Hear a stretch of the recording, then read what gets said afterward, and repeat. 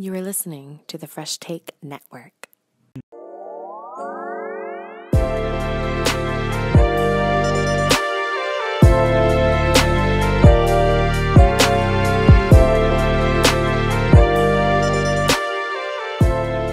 Very, very grateful uh, to have Lisa Thomaidis, the Team Canada and UF, U of S head coach on the podcast today. Welcome to Fresh Take. Welcome, Lisa. Yeah, thanks so much for having me, Josh. So, you guys just finished playing the America Cup in Puerto Rico and then suffered a tough loss against Puerto Rico that kept you out of the gold medal game. Uh, lost by three and then advanced the bronze medal game against Brazil, a team that we had beaten earlier in pool play. Uh, it was our second game. We beat them and then uh, ended up losing to them in double overtime. So, uh, for sure, in terms of results and and final placing, we're disappointed. You know, I think those were were two games we could have and should have won. Um, but in the grand scheme of things, you know, this this tournament was really a lot about us identifying where we are now and where we need to be for Tokyo. So, um, you know, we we uh, we had some good showing early on. Like I said, um, shot the ball pretty well, and and you know, at the end, just again, it, think we had what was it, seven games in eight days. So it's a, it's a grueling tournament. You know, it's uh, back to back to back to back games, then day off, and then and then three more in a row. But certainly went into the tournament with the goal of finishing first. Um, we've had some great finishes at the uh, at some AmeriCups prior to this year, and and that was definitely our goal going in, and and certainly fell short. But um, again, looking at it from a silver lining kind of perspective, in that you know when when we reflect on Rio in 2016 and we played in the AmeriCup and we played in the Pan Am Games in 2015, we hadn't lost any games before we went into the Olympics, and you know, I think in hindsight, that probably wasn't the best thing for us at the time. You know, sometimes you you learn the most from well, you do learn yeah. the most from from losses.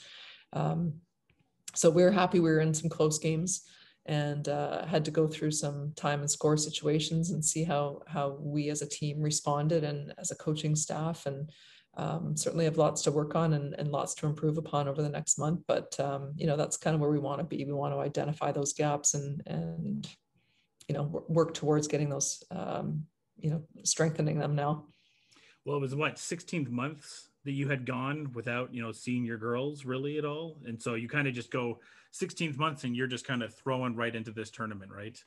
Yeah it's wild. Um, yeah when you think back to it being you know a year and a quarter essentially where we hadn't been face to face we hadn't been in the same location we hadn't been on court together um, it's a it's a lot of time. And as much as most of our athletes were competing you know whether it be in their pro context or in the NCAA they're still playing which was fantastic. But it's very different you know when you're not in our environment and and able to work with them face to face so uh, we knew that was going to be a challenge coming in. And um, you know we had we did spend a lot of time virtually meeting throughout the course of that year and a bit to stay on the same page as much as you can. But there really is no um, you you can't replicate the on court no. connection and, and chemistry that you develop when you're together. So yeah, that's certainly a challenge. But again, um, now that we're together and, and we'll have this extended amount of time together, I think we're, we're going to make up for lost time for sure. What's what's the next step now for you guys? Obviously, you know, before you got on air, you said you're in isolation right now in Tampa. Uh, yeah. Where do you guys go next? Yeah, so we're back here for essentially two weeks. Uh, we'll be we'll take about five days here just to kind of rest and recover and uh, regroup, I guess, and then we'll get back on court and we'll have about ten days of training, and then we leave for Japan on the fourth of July, wow. um, flying into Korea City. So we'll have a training camp there. At which point, partially through, we'll get our WNBA players rejoining say, us. Key and them come like like what like it's like a week or two weeks just before the games to come yeah gel with you guys. It's basically a week. Um, yeah. So they'll land. We'll get them up to speed as quickly as we can. We actually have a couple exhibition games lined up against uh, Japan and Australia. Sorry, Japan and France. We're hoping to get Australia as well. And then head into the village and, and get ready for our first game on the 26th. So it's a it's a whirlwind for sure, but um, you know a, a, great journey that we're on right now we're so fortunate to be in tampa you know we originally had planned to be in edmonton for our training but due to COVID and the restrictions for international travel, um, Mm-hmm. it just made it impossible. So we were very, very lucky that we were able to access the facility down here and um, what the Raptors have been using all during the NBA season. So it's been a phenomenal setup. Yeah. I I don't envy you at all, Lisa. You know, I got to talk a chance to talk to Aaron McAlena and Scott Edwards, and they're already dealing with this unbelievable hectic recruiting classes that you have to deal with right now. But they're not also dealing with Team Canada stuff as well. What has the pandemic been like with like a double recruiting class for the U of S coming in, and then obviously de- mm-hmm. dealing and getting ready for the will they won't they with the Olympics as well? Yeah, it's um, it's been something else, let me tell you. Yeah. um, you know, the whole recruiting process. I mean, especially with us at the U of S, like we rely so much on being able to bring athletes in and see our environment and meet our staff and meet our players and see our practice envi- uh, sorry, see our practice uh, facility. Um, you know, we really have some great amenities that we can show off, and so to not be able to do that for a year has been really challenging. Um, and on the flip side, you know, not being able to see players in person compete and just watch their progress and get to meet them and get to meet their families and what you know kind of what they're all about it's it's been really really difficult so um yeah thankfully we have a great you know core returning we were able to secure some quality recruits um, for last year coming in and um, yeah we've, we have some good ones coming in still kind of finalizing our recruiting class for this double recruiting class. It's it's strange but um yeah we're, we're plugging away. It's it's certainly been an interesting time and and leaning heavily on staff to to fill the void while i've been gone. It, it's so weird too because you're going to have some grade 11s that never played grade 12 basketball and they're going to come into a warm welcome into playing in canada west basketball next year. Yeah it's it's going to be very interesting to see how that all pans out yeah you know they're they're going to be in a difficult situation like being out of competitive basketball for over a year and then to be thrown into the fire so to speak so um you know i think a lot of teams are going to be carrying large rosters and, and probably looking at some of those first years that have missed out on an entire year as likely a bit of a red shirt season Yeah, to get them up to say, yeah. speed. I think that's probably, you know, for a lot of teams, that'll probably be the route that that is taken, but can't speak for them. I, I yeah, it'll it'll be interesting to see what happens. what what was uh, up until the point of the pandemic where where were you at with canada and with u of s Uh, like when the pandemic just broke. yeah when it broke where were you guys for u of s Uh, we had just won a national championship. right yeah and literally came back to Saskatoon. And a week later, uh, I believe it was about a week later, we were told we had to get out of our facility. They, they were, Mhm. and, and so they transformed our practice facility, which is uh, adjacent to a, a hockey arena. And they transformed that into um, a COVID, like basically a, um, a field hospital. Sorry. And so we had to vacate. We had to move everything out of there. Everyone had to come back on campus. We're all masked. We couldn't be, you know, we only could have a few people in there at a time to get stuff out of their lockers. And it was a whirlwind. It was just nuts. And I remember thinking, okay, well, you know, by the spring or by the summer, it's going to pass. We'll get back in here in the fall. And then before we knew it, it was like, there's no way you're getting back in here for at least a year. So that was the case with U of S. And, you know, a lot of our players are from out of town. So they took off and wrote their exams at home. And um, many of them, well, most of them made the decision to return back in the fall. And thankfully, we were able to do somewhat normal training for September to November. Uh, and then we were shut down again and essentially locked out until until now. Um, now we're into some small groups, I believe, but nothing contact and, and no five on five. And then from a Team Canada perspective, so we had just qualified for the Olympics in middle of February.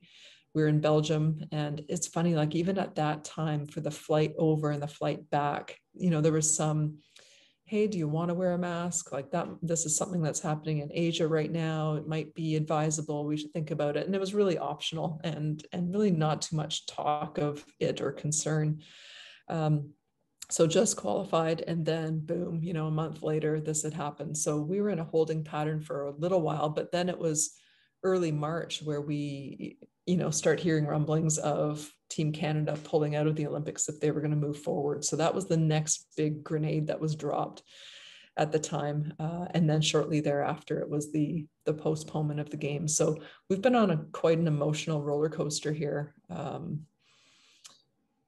and then just kind of had to had to regroup and had to you know be creative in our approach and, and what we were going to do remotely. People returned to their pro teams in the fall but again we missed out on lots of training opportunities that, that other nations were able to capitalize on. They had a, a november fiba window that teams were able to get together for as well as in february but we weren't able to do either of those. So um, yeah we just we had to be creative and, and figure out how we could still continue to grow during this period of time I was going to ask you when Canada did do the, the pull out of the Olympics and then obviously the games get posed themselves, were you guys kind of led like a little bit privy to, hey, this is the direction that Canada is going to be making with their Olympic team? You know, I was asked that before, and yeah. um, surprisingly, no. I think mm. things just happened so quickly. I was right. literally sitting at home and on social media, and something popped up on Twitter. And I was like, what is going on right now? I mean, to be frank, it wasn't that surprising as far as like no. kind of figured at that point there was going to be a postponement but the decision for canada to to pull out um, before that announcement like we weren't given a heads up ahead of time at all. Um, i think some athletes were but it just it was it's too far reaching to try to get a hold of everyone in a timely manner. So unfortunately a lot of people heard via social media. So that was that was a bit of a shock at the moment. Um, but then again quickly moved to the entire thing being postponed and and so i think kind of got to a got to an okay place pretty quickly. And luckily enough you guys are back right now yeah. in uh, in action. Was uh was the, the, the FIBA America Cup that was planned for last year right? It just got postponed to this year as well? Um gosh. No I think it was uh no, it was for, it was for this year. Okay. Um, so it would have been it would have been Tokyo last year, and then it would have been this would have been like the competition for this season essentially, um, leading into the World Cup and qualification for that. So that's right. how this kind of got we got doubled up on. So in a, in a nice way, though, it was kind of like a nice kind of refresher for you guys in a way. In a way, it's kind of grateful to have that. Con- and you got like the crowd out there, that Puerto Rican crowd. I thought was a really you know for as limited as it was, it seemed like a pretty good crowd it was good you know for that for that game. It was uh, that was our first taste of like a bit of an environment and a bit of a yeah. hostile environment that we've played in for you know over a year. So that was really positive. Like you said these games really are a gift. Um, we were very fortunate to have them at this point in time. At one point there was talk of it being held later and after the olympics but again for us we really need these games now. And so um, yeah again to give us a bit of a benchmark and to evaluate where we're at it uh, it really was necessary. I can't imagine if we were going without games up right up until you know basically when we get to japan and then just have a couple games that would not have been good for us. So this was really fortunate in terms of the timing and, and what we're going to be able to do with the information that we that we gathered from these competitions well, yeah, you get some extra repping and watching the games on the zone. I really liked what you guys had going on in the post game. I thought that was especially down the stretch and in the Puerto Rico game. I thought the post game was definitely a strong suit that you guys had going for you. Yeah, you know, we have some, we have a great mix of skill sets. I think in the personnel that we have playing down there. Um, yeah, you know, with Kayla, she's more of a traditional sort of back to basket, can score close to the rim, um, can hit the mid range now, good in pick and roll and then Laeticia played uh, and played at the five, and she's you know more, I guess, new age as far as like can face up, can play off the dribble, has the athleticism, but can also score back to the basket. So she you know gives us a bit of a different look. And then with Natalie Achonwa, again a bit of an undersized post, but is going to play away from the basket and a great passer. So can help facilitate um, offense and and keep things moving that way. So I think we've got a you know, some good looks. And then we have Miranda Ayim and and uh, I really liked Ayim down the stretch there. Yeah, yeah. I really liked her progression of her game, and it seemed like the broadcasters were getting high on her as well. Okay, yeah. I mean, just seasoned veterans that can take advantage of of some matchups down low, but again, can also step out and and play off the dribble. So, yeah, we've been we've been really happy with um, you know where they've taken their game over the course of the last little bit So we saw just before we get on here, Team USA announced their roster officially, and it's it's a very nice roster. But you guys are, you know, you guys aren't any slouch yourself. You're still ranked fourth in the world. Uh, when can we expect the final roster for Team Canada? Uh, it'll probably be early July. Yeah. Yeah. probably right before we jump on that plane heading to heading to Japan. So some big decisions still need to be made for sure. We're down to our final 16. Um, I mean, this is the the really tough, tough part, right? Because you you probably have, you know, we have well, we had 20 athletes that we got down to 16. And, and before we got down to 16 of the 20, we said really those 20 are um, deserving of being on an Olympic roster. And we're at the point now where some very, very talented, committed, dedicated um, players are getting cut. And um, unfortunately, they're, you know, the we have to move on. And um, you know, it's a it's a, I guess from a program perspective, it's a good problem to have, in that we have so many quality players now. But um, you know, certainly feel for those that that aren't able to continue on with us because they have committed and they have um, sacrificed a lot to go on this journey up till now. I was able to talk to Shawnee about this. Obviously, Rio was so close to get into the medal side. What were some of those things yeah. you took from Rio, and uh, what are the, those things you're installing, you know, for yourself as a coach and for your players going here into Tokyo? Yeah, I mean, goodness, Rio was each Olympics has been such a different experience. You know, like um, qualifying in 2012 on the last possible day to get to the London Olympics was uh, a thrill because Canada hadn't been at the Olympics for for 12 years, and yeah. so that was just enormous. And to go and compete and, and compete and show well. Um, it was the first time really that our national team, I think, had been on national TV, and people were just starting to get to know who this senior national team is. And so everything around sort of the inspiration I think that that team provided, and um, again the exposure that we had, and and that experience of getting back on the the big stage of playing at the Olympic Games was massive for women's basketball in Canada.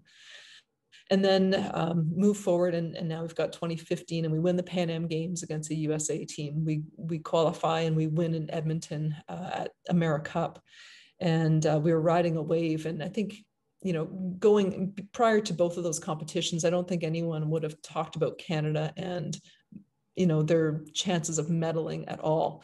But all of a sudden, there was this wave of, um, you know what, maybe Canada has a chance at winning a medal. And so that started to build heading into Rio. And, um, you know, Kia was um, kind of emerging as sort of the, the face of our team at that point in time. Um, and then we had veterans who this would have been their second uh, second Olympic Games. And so I think the expectations started to rise. And, uh, you know, like you said, we were so close. We, we played a, a, France team that we had beaten earlier in the summer and we're feeling very confident against. We had a lead going into the second half and unfortunately um, relinquished that and ended up losing in the quarterfinal. And, and really that disappointment and it, it was more than disappointment. I mean, it was, it was gut wrenching. It was, um, probably the worst loss many of us have experienced, yeah. knowing that you know we were that close to getting to play for a medal. Um, I'd say it was it's provided the motivation and drive to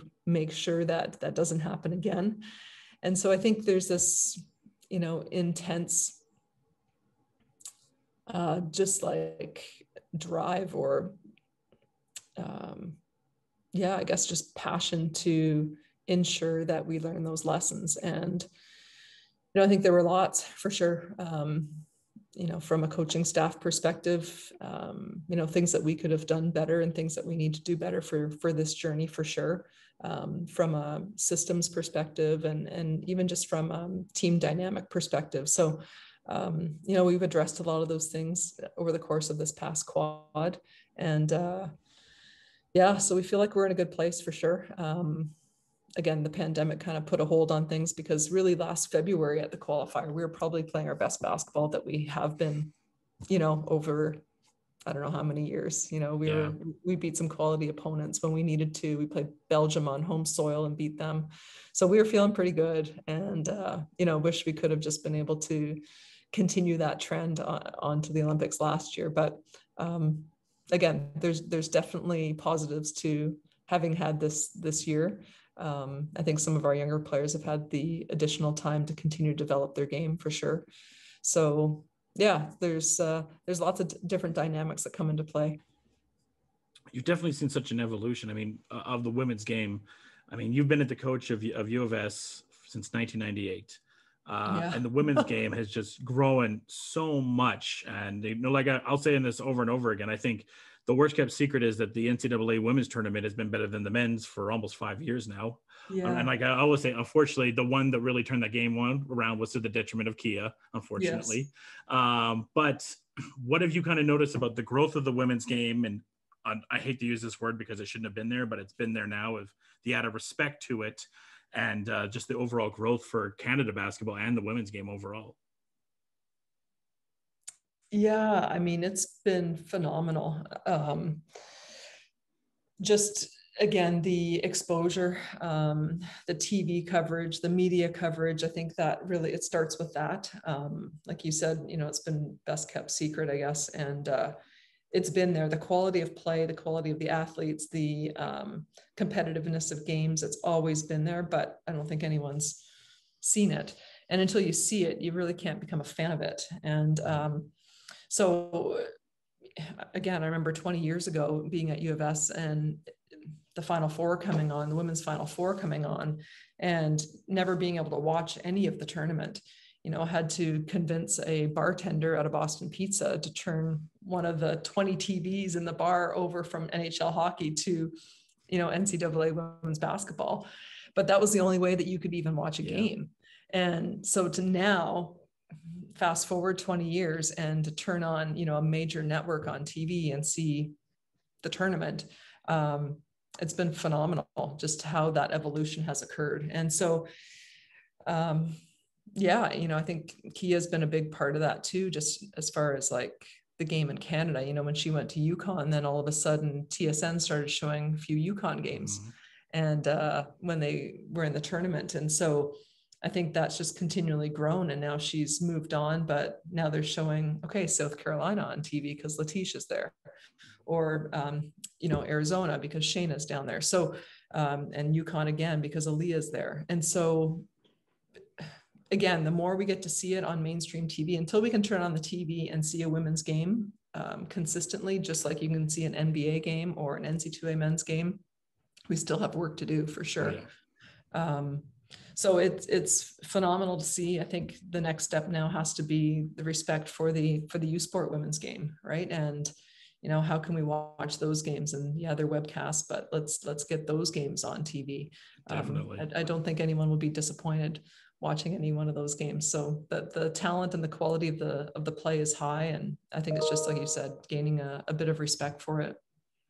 As someone that's had a sister that played U Sport for five years, it would have been very nice not to just have the the stream to go into that I'm like, oh, this the the U of A is playing U of S in this game or whatever. I mean. I remember the one of her first games was against uh, it was in Regina, and I think they played you guys. I, I'm pretty sure. Uh, so it would have been nice to have those games at the very least, right? And I know Tim McAuliffe uh, is a big component of trying to push that. So hopefully, more yes. people listen to the Tim McAuliffes of the world and really push that agenda going forward. Uh, it's it's really interesting for Team Canada basketball right now. Obviously, the men they have a big set of games coming down here for the qualifiers. They'll play Greece, which I'm sure is a little bit. You know, you're always going to go for Canada, but you'll always have the, the kind of back and forth in your heart. They got lucky because it doesn't look like Giannis will be playing yeah. for Greece. Uh, have you had any conversations with Coach Nurse as they get ready for these qualifiers?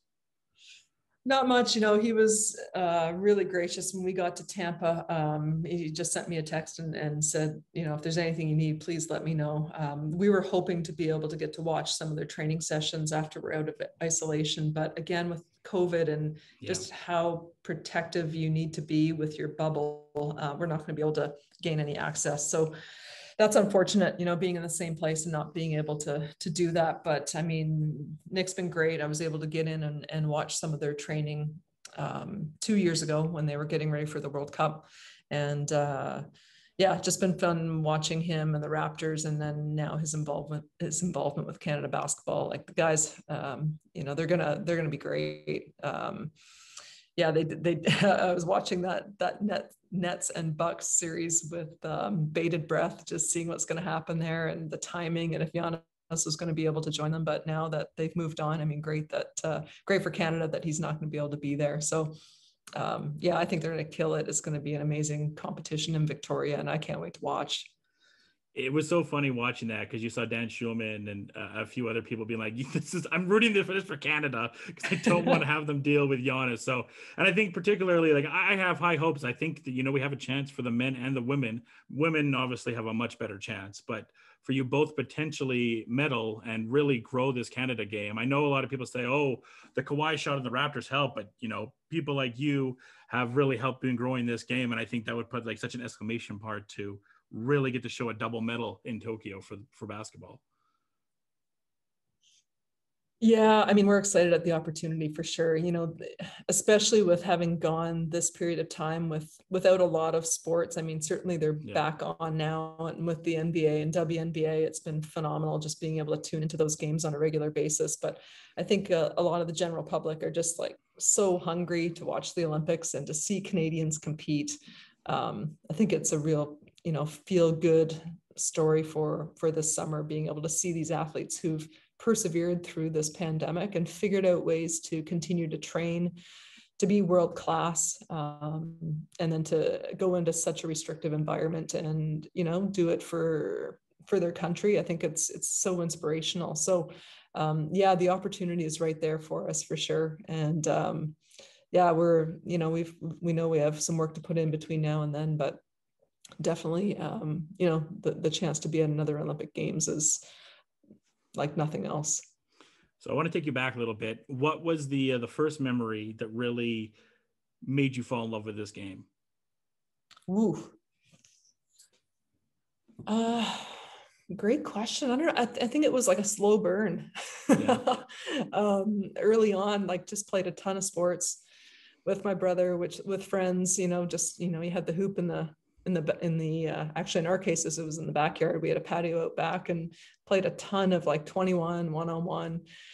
And uh, you know i was always kind of the tallest kid in the class. And so you, you gravitate towards some sports that you know you're probably going to be better suited towards. And and for me i, I was so fortunate. We had um, well i had a number of female coaches along the way. And i think it was it was really them that instilled this you know sense of passion for the game and uh, you know what it can do for you as an individual and as a person if you you know put everything into something that you love. And uh, so for me i was really fortunate in high school to have some some great high school coaches brendan nelson and bev smith and then to go to mcmaster and to have teresa burns as my mentor and, and university coach i think you know without them, I wouldn't be where I am today for sure, and would not have had the love for this game that I do have right now.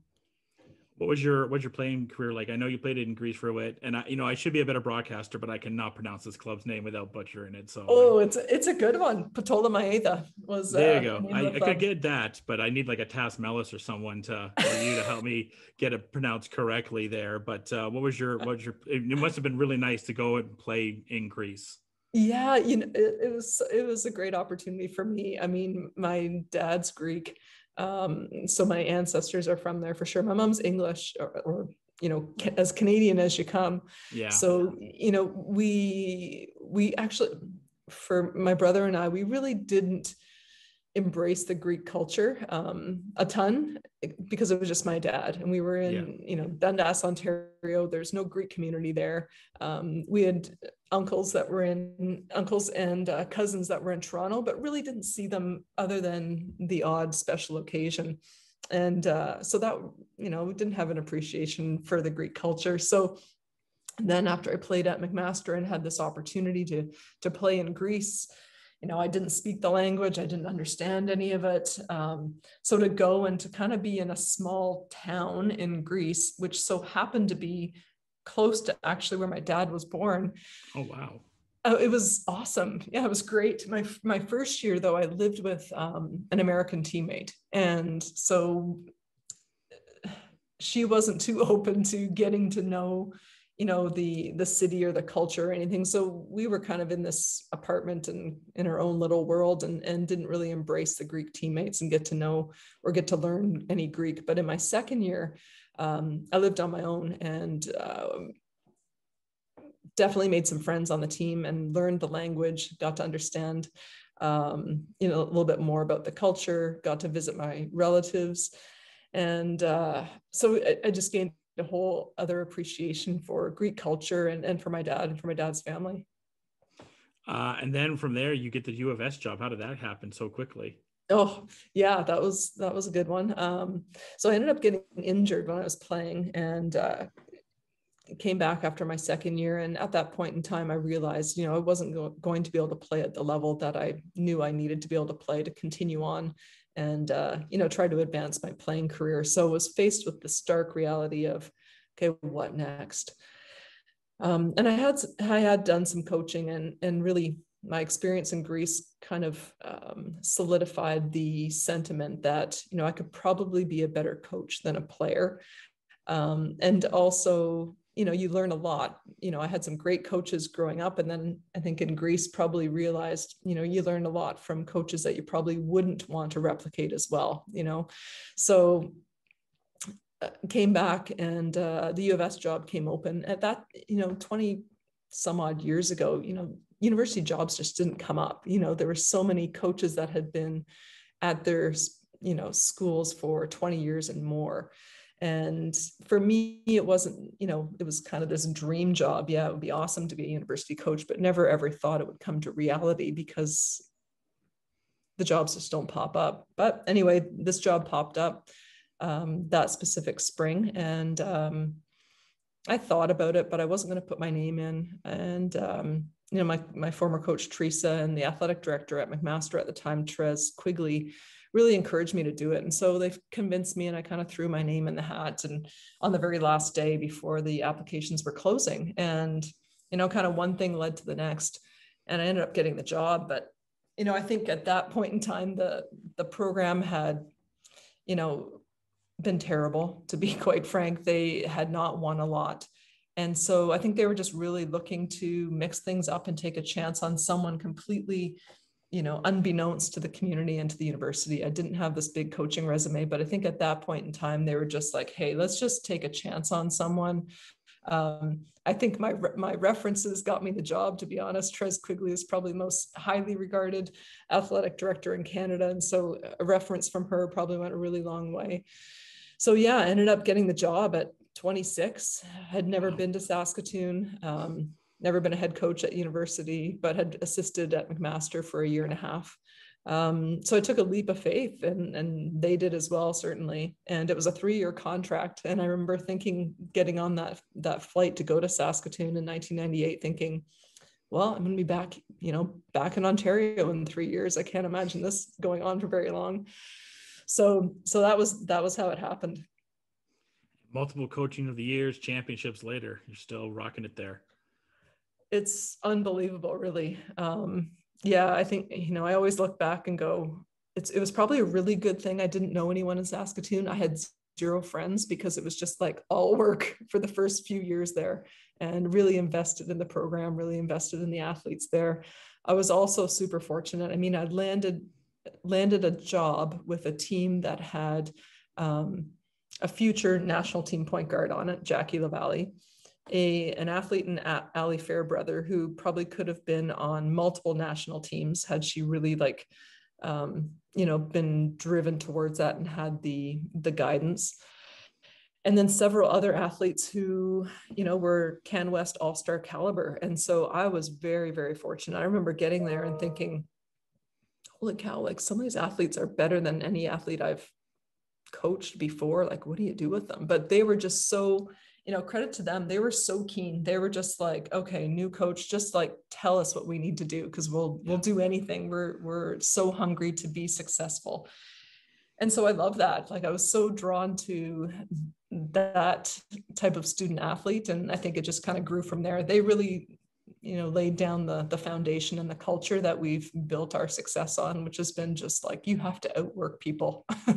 you need to be humble enough to put in the work. And I think that's also resonated with um, with our community. You know, we've had great uh, support from them. Um, so it's just again, it's we've continued to build upon that. So it, it really started in the early days, that's for sure. And I mean, look, I definitely, whenever I hear recruiting classes, I always hear U of S come out. You've ever, you've definitely been one of the better recruiters of getting some of the top tier women to your college. With with the growth of Canada though, and women going down to the NCAA, what has that kind of adjustment been like? With more women going to the NCAA than doing Canada, with like there's still the nice yeah. balance of it, but obviously now women are like, oh well, if I go to NCAA, maybe I have a better chance at the WNBA. Yeah, it's been a it's been a really interesting dynamic. Um, I think every NC2A program is looking for that diamond in the rough. I think they see yeah. Canada as um, you know uh, a country that has a ton of talent, and the talent has a ton of character. You know, I think they know that Canadians are going to work hard. They're going to play a role. Um, whatever that role may be. And, um, you know, there's a lot of talent up here. And so there have been increasing, you know, a lot of interest from top level programs coming into Canada. And then, you know, you have the trickle down effect of not just the top level, but every level, whether it be, you know, mid majors or the Div twos even. Um, so for Canadians, I think if you want a scholarship, you can find a place in the States. Um, it's just a matter of the fit and what the what the goals are of the individual like for us um, the the trouble comes for u sport is that you know the successful u sport programs have all div 1 talent i think we're at a stage now where most of our roster has turned down nc2a div 1 offers to play at the u of s. Like that's the quality of player that we now have to get to be able Definitely. to compete at the highest level. And so you have to you have to find the ones that um, you know the, that you offer the program that they want that they see the value of a canadian education that they see the value of staying and playing in canada and the connections and the community and the still the high level basketball that's being played and you know for a lot of them i think it's the the opportunity to play for a national championship i think for the Canadians that go to the NC2A, those opportunities are like unless you're going to a top 25 school, um, it's it's a really you're not going to be playing for a national championship for the most part. Um, but again, it's it's all about the fit of the the goals of the individual and um, and what the what the university or college is providing. So um, yeah, it's um, that that combo is is the the tough part to find you know the the ones that are going to excel in the u sport environment and the ones that are going to love that type of experience versus what they could get in the us so i just think um, we have a ton to offer in canada and there's there's more and more scholarship support that is available. And i think just the the next missing link that we have to provide is that exposure you know the um, the coast to coast media attention on on our sport and on our athletes that I think they deserve, and uh, not just for the national tournament. Absolutely. I, I, mean, in some ways, to kind of put a parallel for you, you kind of became the UConn of Canada for the U of S, right? That's where basketball excellence really goes. I, I, am interested, you know, being from Alberta uh, and watching the game grow, and there's been good basketball players out here, but it really seems like a lot of the best ballers come from Ontario and at times Quebec as well. Why do you think that the Ontario, Quebec, a little bit BC, what what what do you think Alberta, or I don't know what Alberta or Saskatchewan or Manitoba is missing, but why don't you see as why don't you think we see as many ballers from those on a national level? Um, you know, I mean, just the population base in Ontario, but also yeah. the um, basketball is the sport to play, and the best athletes in Ontario are playing basketball, in my opinion. Um, you know, again, you have that Raptors effect, and you have um, yep. you have those athletes who are who are playing basketball. I think in Alberta on the prairies, it's still you know we're obviously we have yeah. you know what not even 10% of the population of Ontario, but um, that our best athletes are split between hockey, volleyball, soccer, and basketball. It, it's not a given that the best players or the best athletes are going to play our sport. And so it's just, I think it's a numbers game for sure. And so when you have that exceptional athlete that's coming through, um, then they don't have the the competition to continue to push them to greater heights. So I think it's coming for sure. I think you know we're always going to produce the one-offs here and there um, that have potential to play on national team and and play at the highest level. But um, you know, I think we still have to provide opportunity and try to get those those athletes loving our sport and and seeing the benefit of it and how fun it is to play and then you know just again continuing to to grow the base so the product at uh, you know in high school is better and then the product going on to university is is that much higher I definitely think you're right. You definitely have seen the growth. I think the Raptors effects helps, and I think you know what you guys are potentially going to do in this Olympics is going to help. Speaking about Olympics, so 2012, I believe, is when you know the job comes to you. Obviously, you know, kind of a, a dream come true. What was that? Uh, what was that dialogue like, and leading up to that? Yeah, so um, 2012 went to the London Olympics as an assistant coach, um, working with Allison McNeill as the head coach and, and her husband Mike as another assistant. And yeah. so it was late 2012 that um, Alison decided that she had she was going to retire and, and be done. And so then it was yeah the, the, the next decision. It was very similar to my decision to to put my name forth for the U.S. job, and that um, you know was I going to do it and was I going to put my name forward? And you know a lot a lot of thinking about that and am I ready for it? Can I do a good job of it? you know, in my opinion, working with a coach in Alison who was just the best, right? And knowing I'm not the same type of coach as that she is. And so, just again, a lot of, I think, reservation and hesitation around it. Um, but at the end of the day, decided that if I didn't, I would have regrets. So, yeah. put my name forward. And, um, you know, after a, a, lot of conversation and interview process and, um, contemplation, I'm sure, from um, Canada basketball side, uh, we decided to do this. And um, you know, it was the best decision I ever made was was to put my name forward. It's been a phenomenal ride. We saw success early on for sure. You know, at that point in time, I think the the team was ranked about 11th in the world.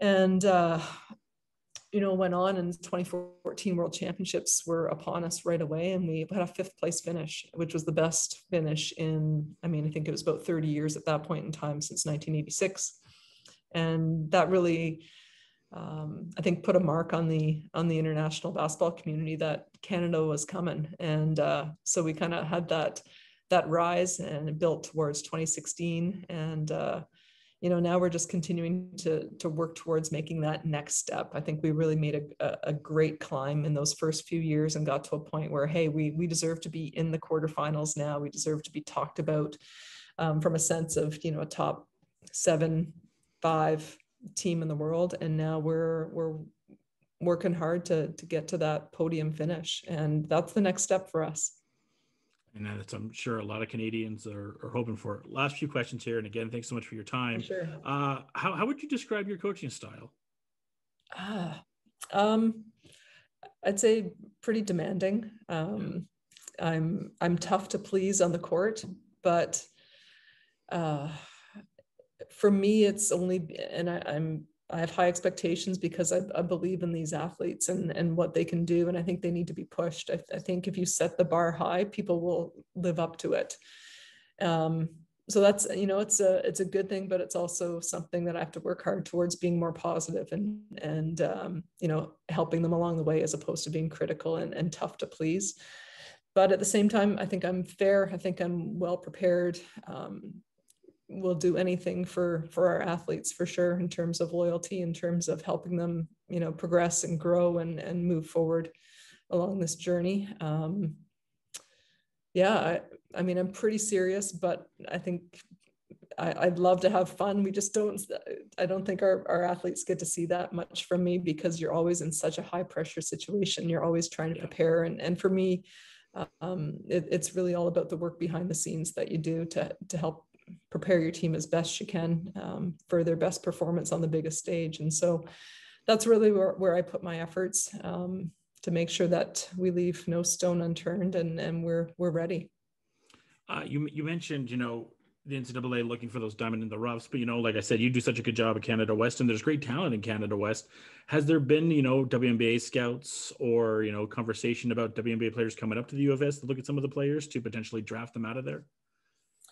Um, not yet. I think there's just so much talent in the the NC2A. It's yeah. just um, you know, it's a uh, there's so many players down there, and Um, I think the WNBA is now highly regarded as probably the toughest professional league to crack a roster. You know, there's only Yeah, 144 so spots, and uh, yeah, it's it's it's phenomenal. We have the number of Canadians in the league as we do uh, because it uh, it is such a competitive league to get on a roster. And even when you get on a roster, there's no guarantee you're going to be on it for long term. You know, you're there's constantly influx of talent every year trying to fight for a spot. And so, um, yeah, I think um, it'll be great when the day comes that we have a, a player that was, well, like, you know, you could look at Nayo Raincock-Ekunwe as, as someone who played for a Canadian team who's in the WNBA, um, you know, right. certainly playing at Simon Fraser. That's just it's massive. I don't think there's enough said about her and and her journey and you know where she's taken her game and that she's playing on the biggest in the biggest. We stage. could go like three hours with all the cool stories from your players that I've done research on. There's so many cool stories yeah, yeah, about this yeah. team so, and the journey that they've made. Yeah, yeah, absolutely. Couldn't agree more. Uh, so I, I guess I just end this and just saying like best of luck in Tokyo. Uh, obviously the country's rooting for you. I'm I'm rooting for you guys hard. I've been such a component of you know wanting this women's game to get to this next level for respect that you know it should have had long ago. But uh, I'm looking forward to having those games on CBC and uh, hopefully yeah, that you guys great. can uh, take it to that next level and get that medal, especially for you to add to uh, add to your trophy case. Oh, thanks so much. Yeah, I really appreciate the time here and uh, the opportunity to share some of our stories. For sure. All right, everyone. Until next time, cheers.